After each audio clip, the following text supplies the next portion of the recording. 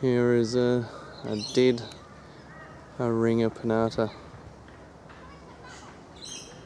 Unfortunately, Arengas, Caryotas, Monocarpic, Hapaxanthic, they fruit.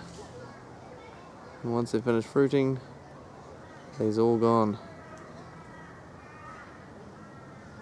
It's a pretty tall trunk, about five, six meters tall.